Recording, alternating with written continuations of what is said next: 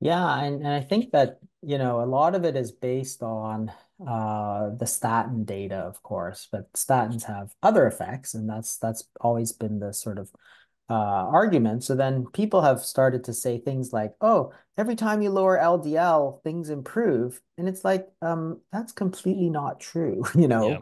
Um, SGLT2s is one class of medications that raises a LDL, right? It raises LDL. And what does it do to heart disease? Oh, it Yep. improves it by quite a lot. Yep. And people always forget the whole um, hormone replacement therapy. One of its purported mechanisms to to to uh, prevent heart disease. Remember, you know, 30 years ago was a big thing uh, was that it lowered cholesterol, lowered it by like 25, 30%. So they're like, oh, give people, give these postmenopausal women hormone replacement therapy, you lower their cholesterol and you'll prevent heart disease.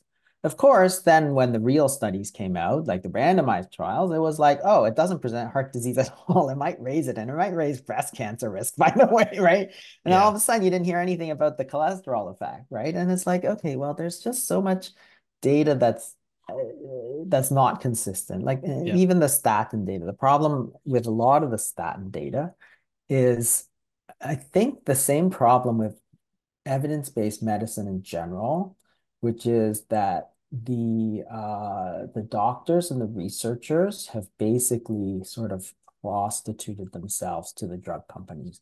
To do the study, you need money and the drug company will give you so much money. But at the same time, we know that if a drug company sponsors a study, you're like 10 times more likely Mm. to find a positive result. Yeah. You Since will torture the data any way you can to to tell a, a favorable story. And I'm I'm sympathetic as a as a scientist. I can attest to the frustration that it is to get science paid for. It is a Yeah. brutal process. And so I can see the temptation to get into bed with that kind of money. Um, Yeah. but it absolutely, I I think I'm thrilled that you bring that up. It's it's a topic that um, can make us be accused of being conspiracy theorists. But but but I think that there's a little bit of naivete involved in that sort of perspective that you know money talks and and it goes a long way in science as it does in every aspect of life. Yeah, for sure. Um, getting back to insulin, so you know, let's talk about insulin and the metabolic syndrome. How does it, like from a mechanistic standpoint, how does it influence the metabolic syndrome, which is not just obesity and hmm diabetes, because they are clearly linked. And just as an aside, this is the thing that bothers me like crazy. If you ask an endocrinologist or a trainee or some other doctor, you know, you know that people who are obese have more type 2 diabetes. That's again not for dispute. And you say why? They'll be like, I don't know. Right? And then it's like, okay, well, obesity is a state of hyperinsulinemia. Type 2 diabetes is a state of hyperinsulinemia. Like, do you think that's Mm. Yeah. like Yeah. There's a common a variable. clue, Yeah. you know? And and uh, so metabolic syndrome is identified as uh, this sort of cluster hmm of five uh, things, which includes type 2 diabetes, obesity, abdominal obesity specifically, but Yep. also um, Hypertension, high hypertension, triglycerides, uh, low high triglycerides. HDL. Yeah, that, that's the five things.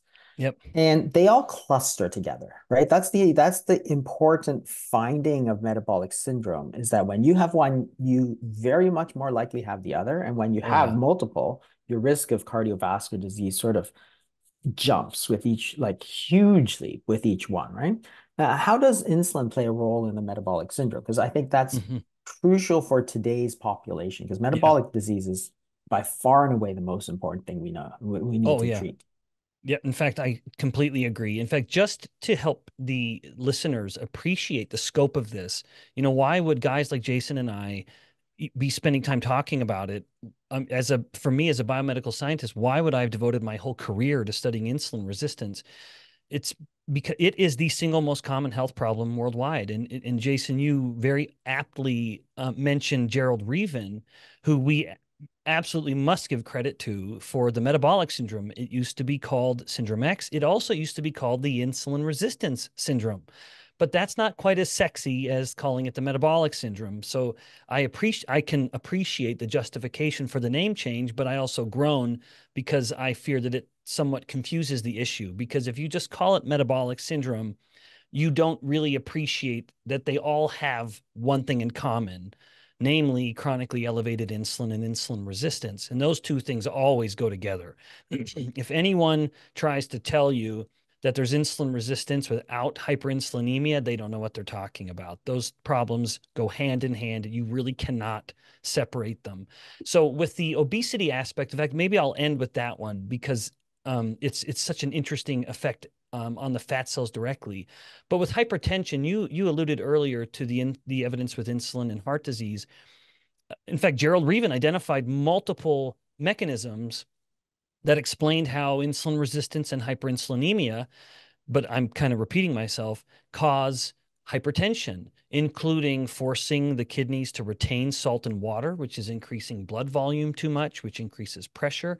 It induces the growth of the and the narrowing of the blood vessel wall itself as another mechanism. And then maybe just one more that I'll mention is that chronically elevated insulin also activates the sympathetic nervous system. And so that's resulting in even more constriction of the blood vessels and the heart beating harder and faster. In fact, as a little tangent, one of the reasons I feel so strongly about people not snacking on starchy, sugary fruit foods in the evening, yes, it's the uh, insulin bump, but that combined with the hyperglycemia is a powerful stimulant of the sympathetic nervous system. So the person's lying there at midnight wondering why their heart is beating so hard and why their body temperature is so high and they're so uncomfortable. It's not that they're anxious about something, it's that they went to bed hyperglycemic and hyperinsulinemic, and now their sympathetic nervous system is telling them it's not time to rest, it's time to fight or flight when they're trying to rest.